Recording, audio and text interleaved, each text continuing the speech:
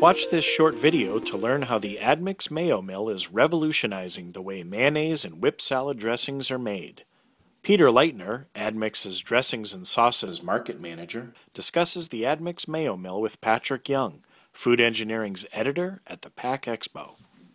Patrick, this is our new Mayo Mill product. Uh, Peter, can you tell us a little bit about the challenges that your customers face that led kind of to the development of this new product? Absolutely. You know, there's, there's really four key things that we want to focus in on as we started to develop this.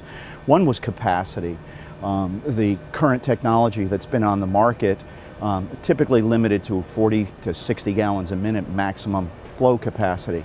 As here we are at the Pack Expo, all the filling equipment and the packaging machinery that's out there can allow customers to go to much higher speeds, but the equipment really couldn't keep up with it. We have sizes now up through 110 gallons a minute, so we've almost doubled the capacity of the products that are currently on the market today.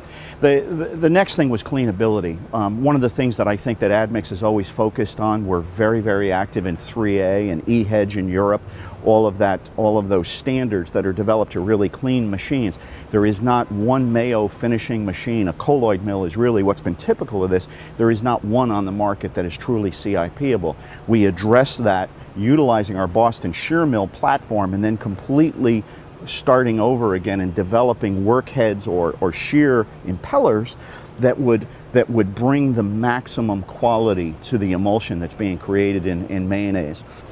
The other thing that we saw as we were in the plants, mayonnaise is a very viscous product. A lot of times now where kitchens are kept separate from the filling lines, we have long runs of piping that take the product out to the plant. And, and what was happening was because of the high viscosity, the pump pressures had to be so high. A constant problem for these processors is in these colloid mills was the, the, mechanical seals constantly blowing and constantly needing maintenance. We've been able to develop a seal based on the experience we've had in the tomato industry on, on tomato paste manufacturing and now have seals that are capable of handling 700 psi of line pressure all day long.